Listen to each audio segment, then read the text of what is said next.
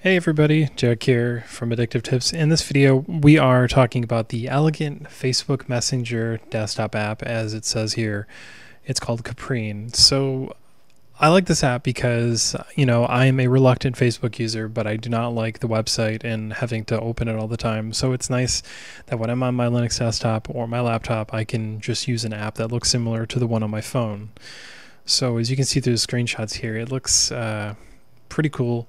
So the way you get it is dependent on your distribution. On Linux, you can use the deb file if you're using Ubuntu or Debian, or you can use the app image if you're on anything else. I have my issues with just giving somebody an app image due to how they work, but it's actually a lot nicer than just say, here, build the source code. So I guess you can't be too upset.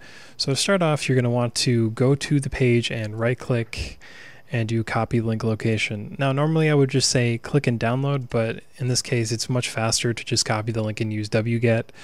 So you just do mkdir-p, make a app image folder,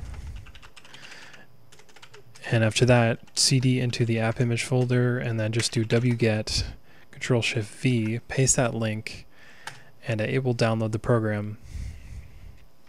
Now the program is a couple megabytes, so it's not going to go instantly, but it will download and uh, it'll get there.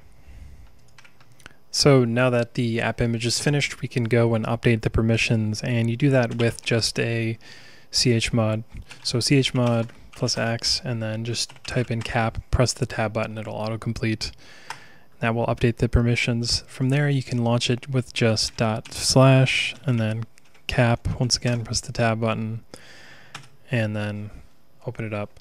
So I am in my uh, in my Facebook app. I'm not going to go through any more conversations, but uh, here's Alex. He owns Addictive Tips, and uh, this is what it looks like. You can enable dark mode. You can turn on the sidebar or turn it back off.